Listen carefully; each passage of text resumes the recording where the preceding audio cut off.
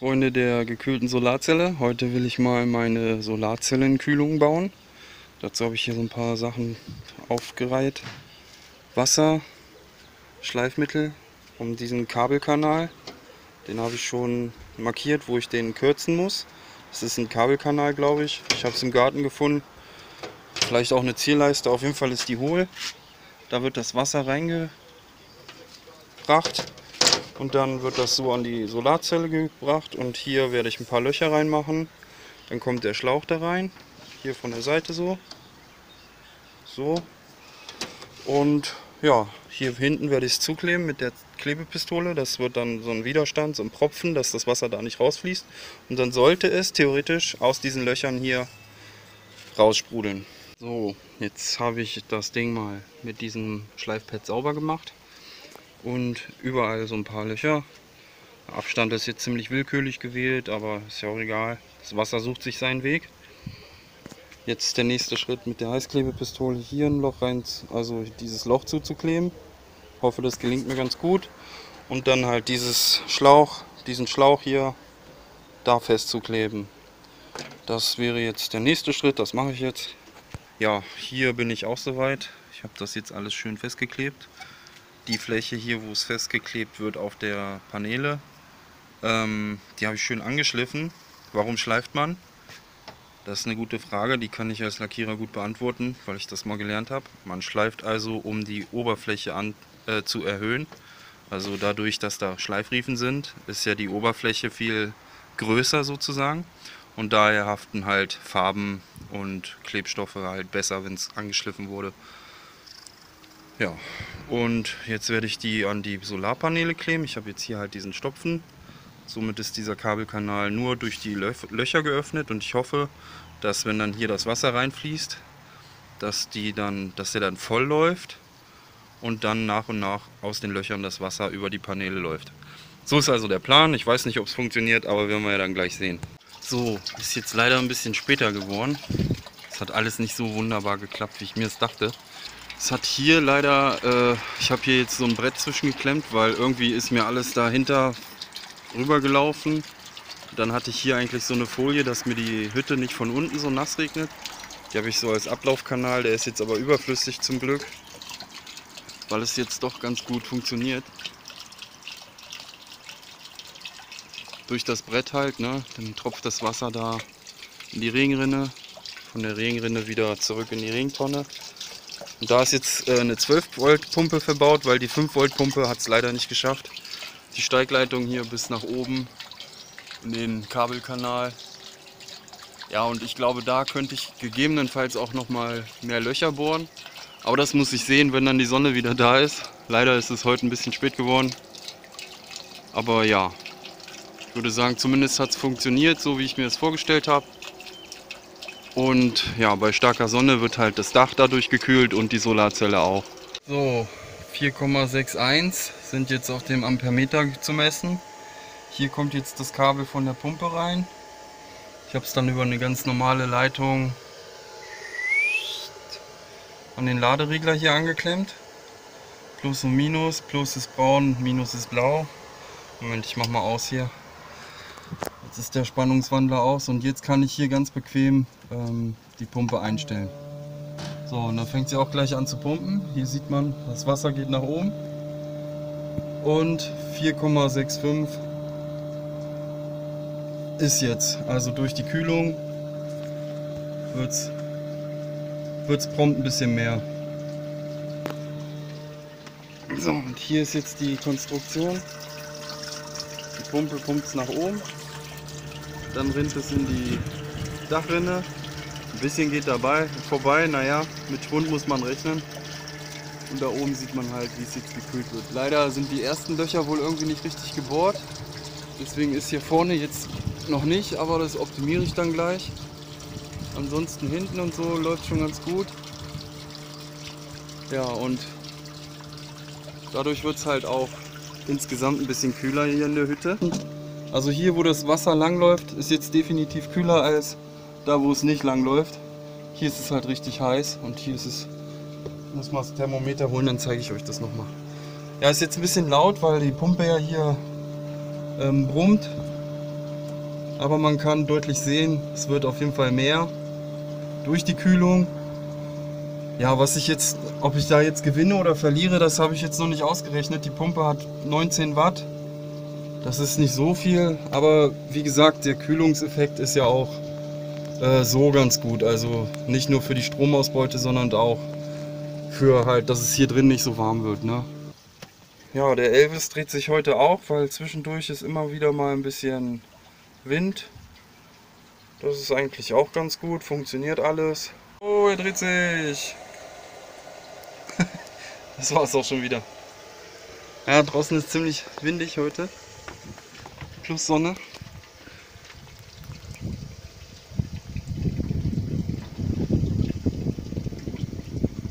Ja, es kommt ein bisschen was rum. Tatsächlich, also das wird echt immer mehr. Ich habe jetzt die Pumpe auch ein bisschen anders hingehangen. Jetzt ist die nicht mehr ganz so laut.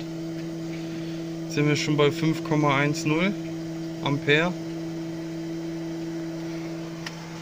Und die Batteriespannung ist schon auf 13,7. Also ja, ich wollte jetzt halt noch so eine Zeitschaltuhr dazwischen bauen, wie ich hier schon fürs Licht habe. Also das Licht geht immer automatisch um 22 Uhr an und um 5.30 Uhr aus. Und ja, das äh, wollte ich jetzt so machen, dass ich eine zweite Zeitschaltuhr hier irgendwo hinbaue für die Kühlung. Dass halt die Kühlung um 12 Uhr mittags oder so angeht, dann äh, bis 16, 17 Uhr oder so läuft und dann sich wieder automatisch abstellt.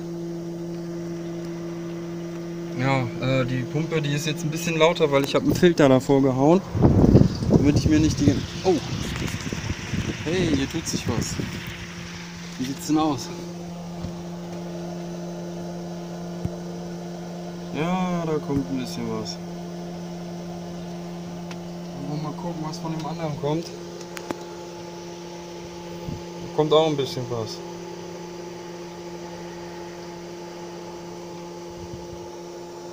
fragt sich jetzt nur, ja, das war plus sogar. Also 0,06 kam von dem Istabris und 0,4 kam von dem anderen. Also es war mal wieder ein kleines Lüftchen da.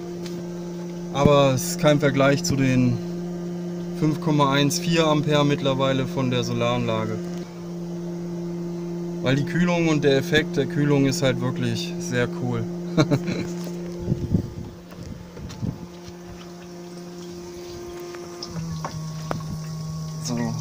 hört man auch gleich, hört sich das Ding anders an. Und ja, da kommt ab und zu mal so ein kleiner schwarzer Blocken durch.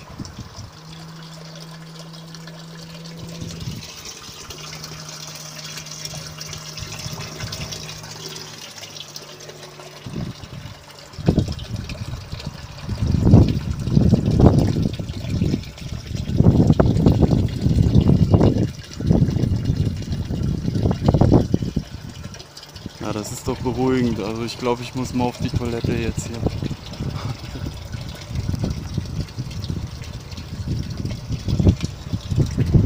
Ja, permanent gekühlte Solarzelle. Wir können ja noch mal schauen, wie es hier mit der Temperatur aussieht. Eben waren es 38. Ja, 3 Grad weniger. Naja, gut 3 Grad. Aber hier weiterhin 50 Grad da, wo es nicht gekühlt wird. Und auch vom Styropor nicht ab, abgeschirmt ist. Aber doch, es wird kühler auf jeden Fall. Wäre ja komisch, wenn nicht. Zumal ähm, die Solarzelle bringt ja auch mehr jetzt. Also das ist halt ein PWM-Laderegler, auch wenn MPPT draufsteht. Die Chinesen, habe ich glaube ich schon mal erklärt, die Chinesen schreiben einfach das drauf, was besser verkauft wird. Äh, dieser Laderegler funktioniert mit PWM-Technologie. Deswegen habe ich auch diesen Wert, sonst hätte ich ja wahrscheinlich noch mehr Ampere-Leistung hier draufstehen. Äh, aber das kann ich so nicht wissen. Ich bin ja wie gesagt auch noch Anfänger. Ich tüftel halt gerne und die MPPTs habe ich jetzt selber noch nicht in Action sehen können, weil mir 80 Euro für einen Laderegler halt doch irgendwie noch ein bisschen zu viel ist. Auf meinem Niveau, da reicht der hier für 10 Euro oder was ich bezahlt habe. Das ist naja, noch erschwinglich. Das ist jetzt auch nochmal interessant. 31,3 hat das Kühlwasser. Ja, natürlich äh, war das niedriger vorher. Wahrscheinlich werde ich das mal besser verschatten hier, diese Regentonne. Dass schon mal da nicht so viel Sonnenenergie aufgetankt wird dadurch. Da stimmt der Filter noch, egal ob Filter. Ja, und das Dach selber hat knapp 60 Grad. Die Solarzelle 30 Grad. Das war, war ein bisschen daneben gehalten. Also 30 Grad.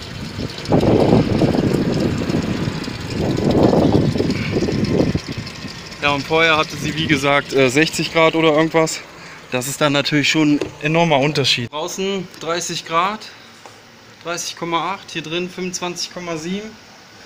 Klimaanlage ist eingestellt auf 20 Grad und echt cool. Richtig schön hier drin. Besonders hier vor.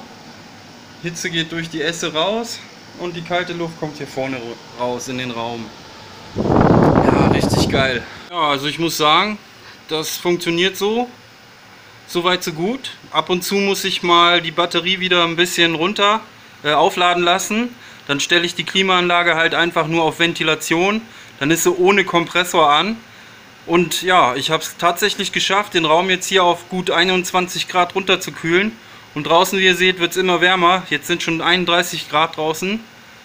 Und hier drin sind es halt angenehme 20 Grad oder 20,7, 21 Grad fast. Äh, Raumfeuchte habe ich jetzt gar nicht drauf geachtet, aber die müsste eigentlich auch runtergehen, weil das Ding ist halt, das hat auch so ein, äh, an, so, so ein Kon Kondenswasser, das läuft hier rein äh, von dem Ding, das, das entfeuchtet die Luft auch. Also ich habe es jetzt auf 20 Grad, wenn ich es niedriger stelle, fängt der Inverter direkt an zu piepen, weil es dann halt noch mehr Ampereleistung aus den Batterien saugt. Ich habe es auf 20 Grad, das ist auch optimale Einstellung. Also kühler möchte man es ja auch gar nicht haben, wenn es draußen über 30 Grad sind. Dann ist dieser Schock, den man kriegt, wenn man rausgeht, halt viel zu hart, viel zu stark. Und ja, es ist zwar alles noch sehr improvisiert, aber jetzt weiß ich, dass es läuft. Es würde funktionieren. Und jetzt fange ich an, das Ganze dann auch ein bisschen schön aufzubauen, weil momentan sieht es alles noch ein bisschen sehr verbastelt aus. Ordnung muss sein, kennt ja jeder. Aber ich bin froh, dass es auf jeden Fall funktioniert. Und der Dusty, dem gefällt es auch. Der hat sich hier direkt vor die Klimaanlage gelegt. Ne? Ja? Das gefällt dir, ne? Ja, man kann nur staunen, wie gut das Wetter heutzutage vorausgesagt wird. Also bei Wetternet habe ich gehört, es kommt heute noch von Westen her äh, ein Sturm und so. Örtlich sogar mit Hagel und tralala. Na, wollen wir mal schauen. Auf jeden Fall so blau sah es vorher aus. Im Osten ist noch blau. Vom Westen her kommt da richtig was Dunkles rüber. Also dann werde ich jetzt mal hier meine Experimente wieder abbauen. Und auch den Sonnenschirm, den brauche ich gleich nicht mehr. Dann war es das für heute.